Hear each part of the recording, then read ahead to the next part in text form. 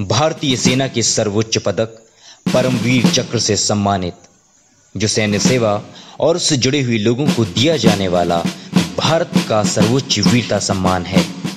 ये पदक शत्रु के सामने अद्वितीय साहस और परम शूरता का परिचय देने पर दिया जाता है।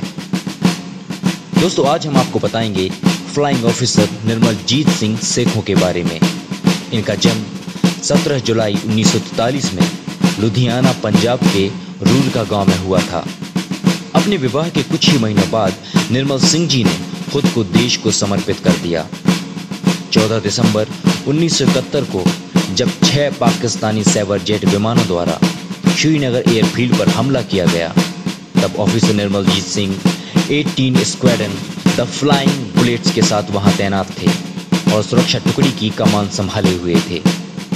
उन्होंने दुश्मन के F eighty six Sabre jet विमानों का बहादुरी के साथ सामना किया और दुश्मन के दो सैवर जेट विमानों को ध्वस्त कर दिया। वे अपनी लड़ाकू विमान से लगातार दुश्मन के पीछे लगे रहे और उनके छक्के छुड़ाते रहे। दुश्मन के दूसरे सैवर जेट विमान के ध्वस्त होने के धमाके के बाद निर्मल सिंह ने अपने साथी लेफ्टिनेंट घुमन सिंह को संदेश भेजा कि शायद मेरा विमान भी अब निशाने पर आ गया है। गोमन सिंह, अब तुम मोर्चा संभालो।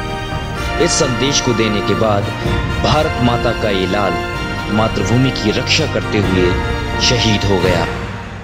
दोस्तों, ये तेरहवे भारतीय और पहले वायुसेना के सदस्य हैं, जिन्हें सर्वोच्च वीरता सम्मान परमवीर चक्र से सम्मानित किया गया था। हम टीम मिक्स्ड माइंड की ओर से उन्हें हार्दिक श्रद्धांजलि अर्पित करते हैं।